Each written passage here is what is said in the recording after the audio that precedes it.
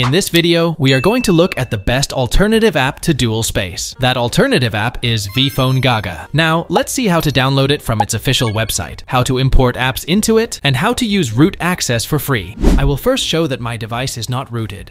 Now, I will show you that my Android version is 14.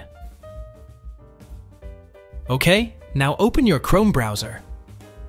Search for vPhone Gaga Official. Open the link.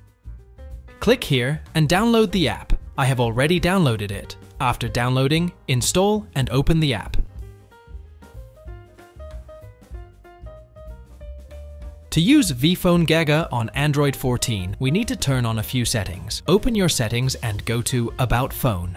In this section, click on the OS version seven times to enable developer options. Now, open the developer options settings. Scroll down and enable the option Disable Child Process Restrictions.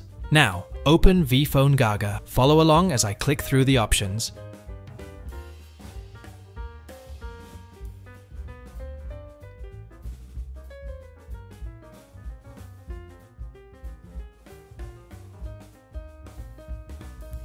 Click here, select Root Settings, and ensure that the root option is enabled.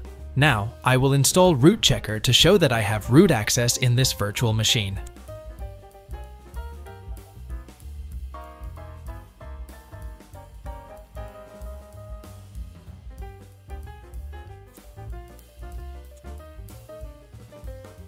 As you can see, I now have root access. Please like and subscribe.